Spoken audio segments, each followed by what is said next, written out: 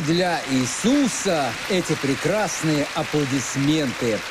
Наше сегодняшнее служение будет благословенным. Впрочем, все наши последние служения были благословенными, как здесь, так и во время э, выездных служений по всей стране, где Бог пребывал с нами и щедро благословлял. И те, э, кто сейчас здесь, и те, кто себя дома или в другом месте – Приготовьтесь, потому что мы можем быть разделены географически, но только не духовно. И сейчас мы пребываем в присутствии Бога Всемогущего, Создателя небес и земли, того, кто обещал оставаться с нами до конца, э, до конца света. Так что неважно, где бы вы сейчас э, не находились, могущественная рука Бога, она сейчас рядом с вами, чтобы сделать то, что вам необходимо – так что верьте, поскольку наш Бог проявит э, свою славу. Я говорю это везде, где бы я ни был, и Бог благословляет. На служениях, которые уже прошли здесь сегодня, мы видели, как исцелялись люди, совершались великие чудеса. Не позволяйте лукавому вас ослабить. Очень часто человек готовится, я пойду в церковь, я приду туда, и Бог будет меня использовать, я буду великим благословением – но по дороге сюда уже начинают происходить странные вещи. И уже придя в Дом Божий, человек остывает, и у человека нет больше былой твердой веры. Бог привел вас сюда сегодня, чтобы благословить. Бог привел вас сюда сегодня, чтобы сотворить в вас чудеса. Господь привел вас сюда сегодня, чтобы вы вышли отсюда лучшим, чем пришли э, сюда, чем были когда-либо до этого момента. Когда мы встречаемся с Богом, слышим Слово – Друг мой, в нем содержится сила, чтобы изменить нас. Давайте сейчас воспользуемся этой силой, давайте позволим Святому Духу действовать в нашей жизни во имя Господа Иисуса. Обратимся теперь к притчам 29. Мы изучаем стих 25. В нем есть много посланий. Я проповедовал это послание в Манаусе, но только начало. Финал я оставил для нового материала, который мы разберем сегодня – и Бог там щедро благословлял. В этом есть очень важное послание как для меня, так и для вас. Э, раб Божий был вдохновлен написать следующее. «Боязнь пред людьми ставит сеть, а надеющийся на Господа будет безопасен».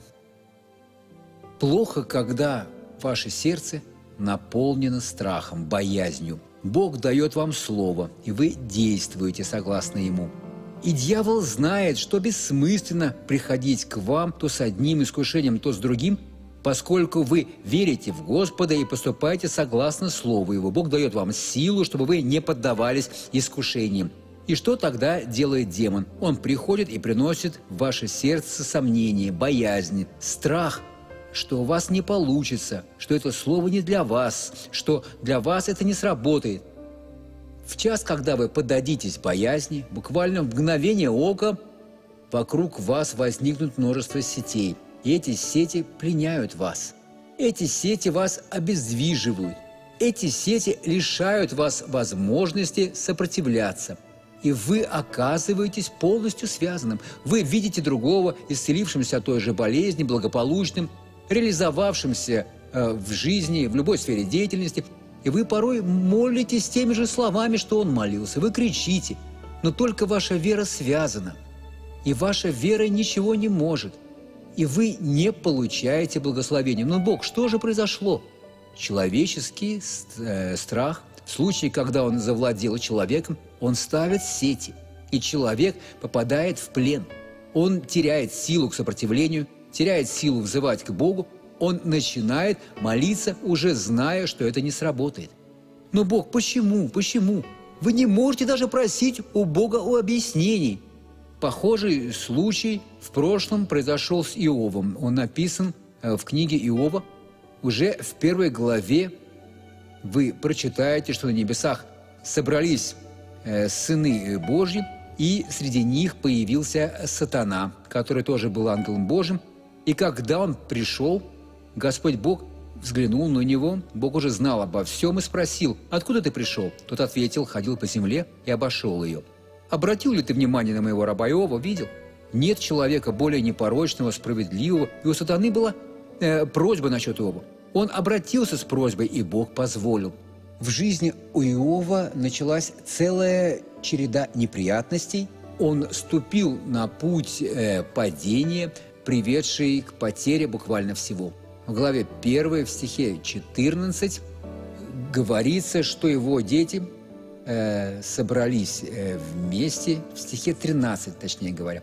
«И был день, когда сыновья его и дочери его ели и, пи, вино пили в доме первородного брата своего. И вот приходит вестник Киову и говорит, «Валы орали, и ослицы паслись подле них, как напали савияне и взяли их, а отроков поразили острием меча. И спасся только я один, чтобы возвестить тебе».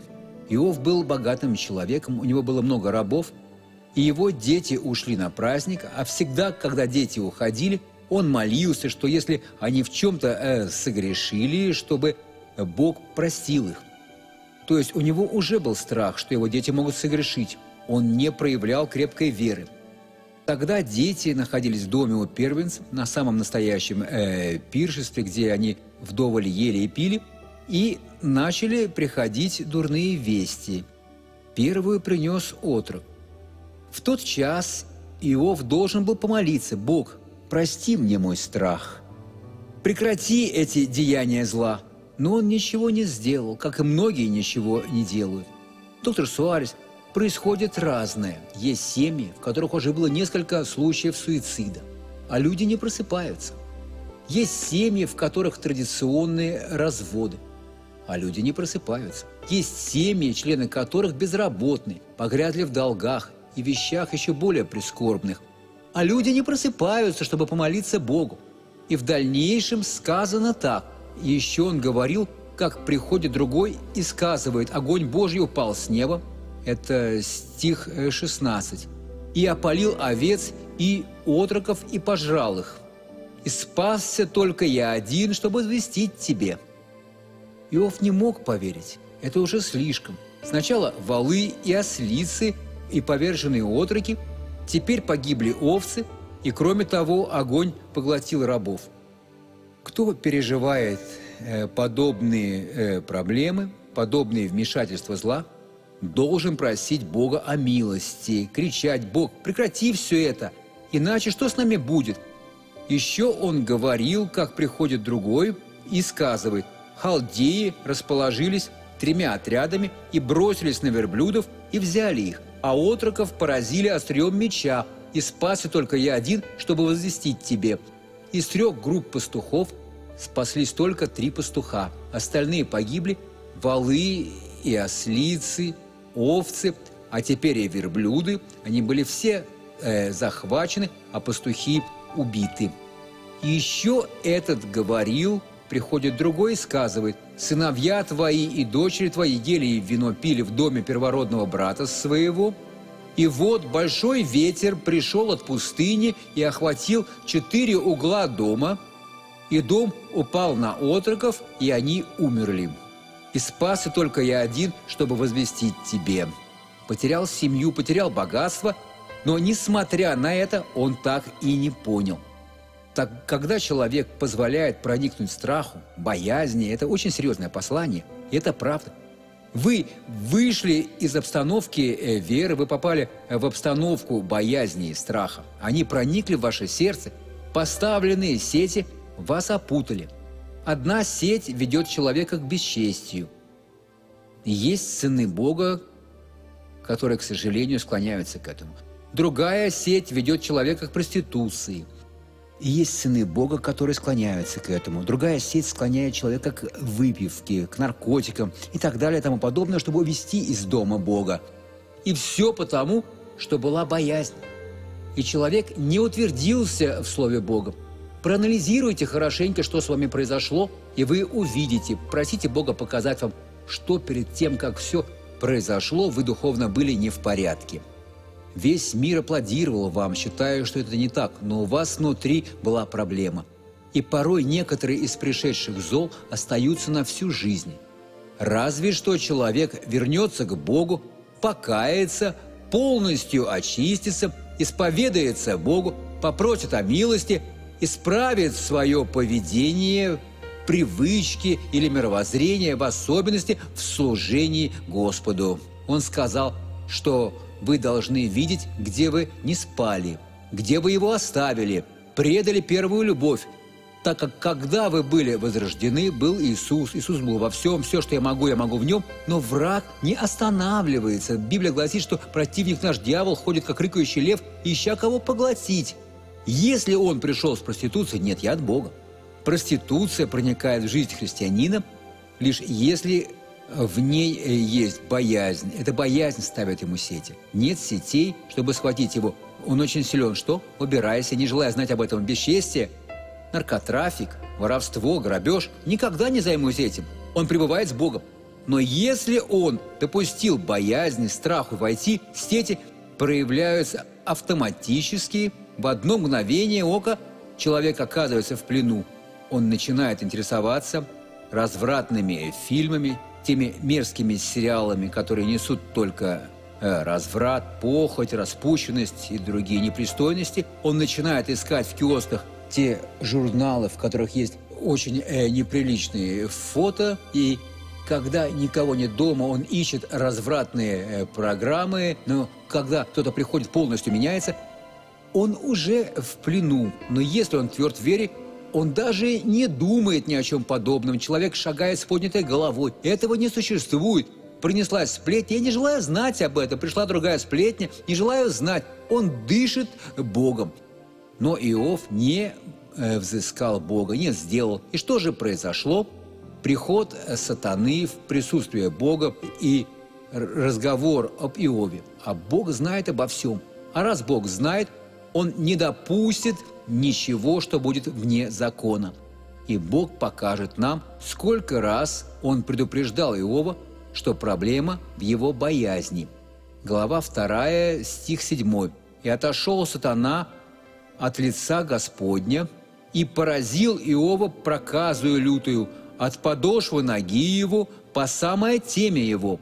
И взял он себе черепицу, чтобы скоблить себя ею, и сел в пепел. Боль была такой, что он поступил так, пытаясь успокоиться, его плоть гнила, и он скоблил ее. Почему, Иов? Почему Иван? Почему Мария?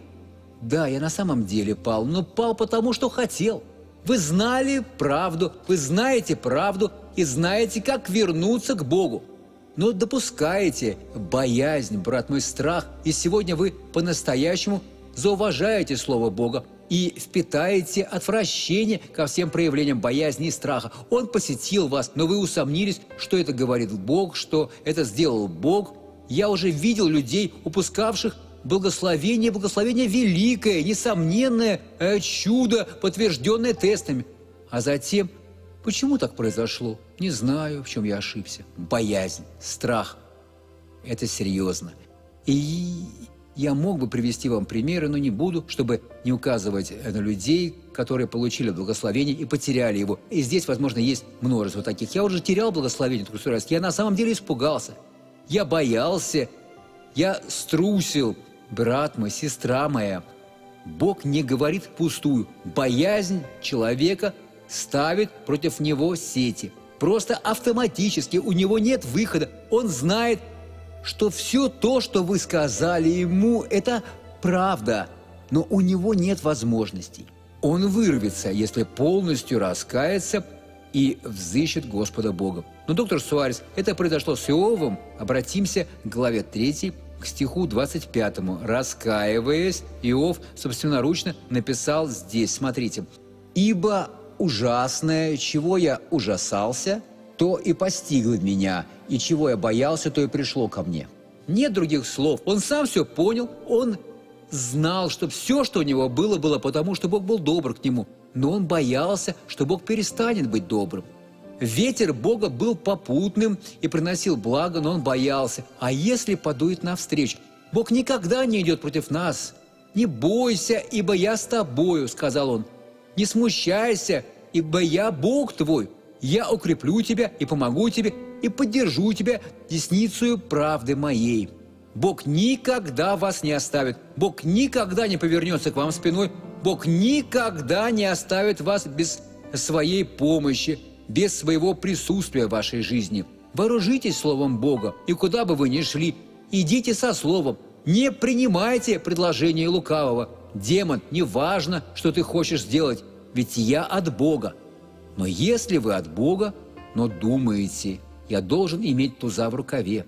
Ведь если что-то случится, брат мой, у вас в рукаве не туз, вы спрятали там демона, вы, вы исключили Бога из своей жизни, у вас может быть лишь один туз, туз от Бога.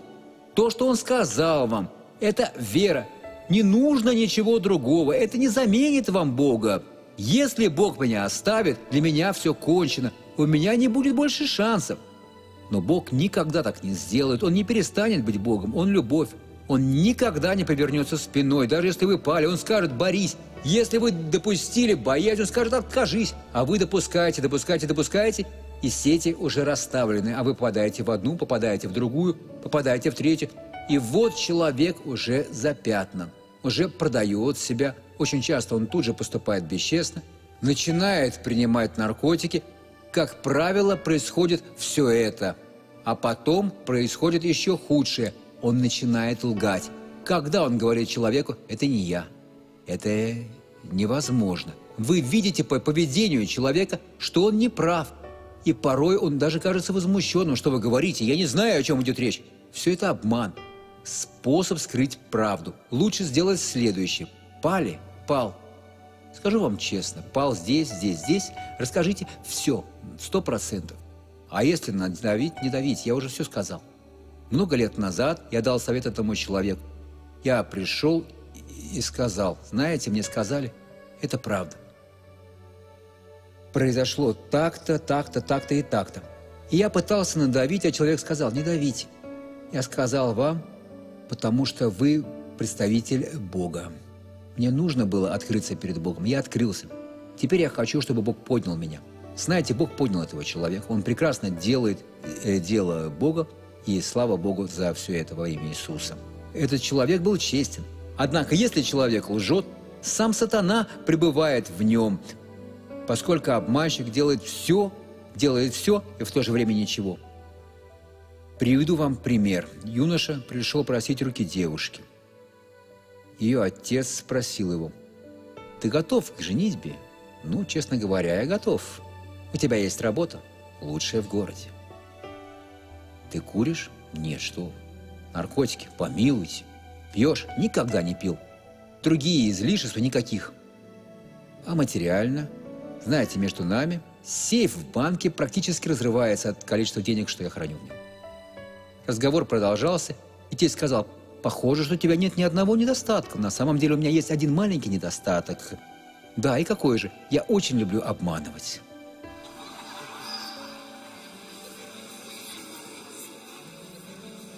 Все были происки демона, друзья. У него ничего не было, говорил, что все есть. Брат мой, согрешили. Да, теперь хочу получить прощение, поскольку теперь я не хочу никаких препятствий между мной и Богом. И тогда Бог вам ответит. Здравствуйте, друзья! Мне совсем не хотелось бы прерывать эту замечательную проповедь, но очень важно поговорить о том, что мы сейчас увидели. Многие уже знакомы со мной, некоторые видят меня в первый раз. Я Давид Суарес. Я являюсь членом команды «Веры», которая работает с доктором Суаресом. Я также отношусь ко многим миллионам людей, творящих дело Господа – очень часто я встречаю людей, говорящих, у меня сложная ситуация, я не могу, мне тяжело, у меня не получится. И они придумывают много разных отговорок, из-за которых Бог не может действовать. Если вы нуждаетесь в благословении, и у вас трудности, то сегодня Бог хочет вам помочь, поставить вас на ноги и благословить. Настало время принять Его и получить свое исцеление согласно Слову Божьему. Что для этого нужно сделать? Необходимо твердо встать в вере, провозглашать, то есть говорить, что будет в вашей жизни, и верить в Слово Бога. Если будешь верить, увидишь славу Божью. Господь хочет показать вам, кто Он. Он хочет показать вам все лучшее, что у Него есть. Он хочет показать, что Он может, и что Его Слово последнее. Истина в Господе Боге. Что вам нужно от Бога? Бог хочет ответить вам. Вы нуждаетесь в молитве, у вас есть какие-то вопросы? Вы чувствуете призыв от Господа к спонсорству? Вы хотите стать тем человеком, который помогает нам каждый день. Здесь наши контакты, адрес электронной почты, а также наш номер телефона. Мы всегда доступны во имя Иисуса. Позвоните, станьте частью этой группы, этой армии людей, которые ходатайствуют, евангелизируют, которые каждый день получают благословение от Бога, и это благословение вы также можете получить через Евангелие во имя Иисуса, хорошо? Давайте теперь вернемся к нашей программе «Шоу веры». С вами был Давид Суарес. Да благословит вас Бог. До скорого. Переходим к истории из реальной жизни.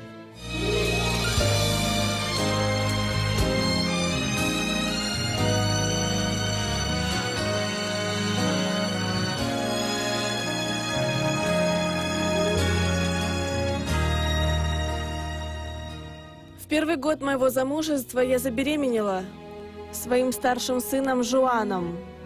И с тех пор начались скандалы. Во время моей беременности муж ходил к другим женщинам. Он полностью изменился после свадьбы. Выпивка, сигареты, проституция. Можно сказать, что я попробовал все. За 10 лет совместной жизни Ильяс уходил из дома к другим женщинам четыре раза. Муж пропал на некоторое время, и когда он вернулся, то был уже совсем, совсем другим. Сказал, что принял Иисуса, что ходит в церковь, что он родился заново. Уже в пятый раз Эрика снова прощает Ильяса.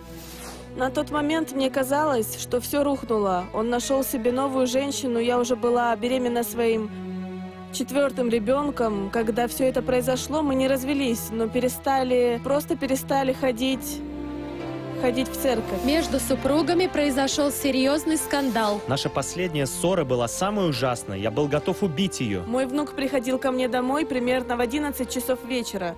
И он кричал мне, что его отец бьет его маму.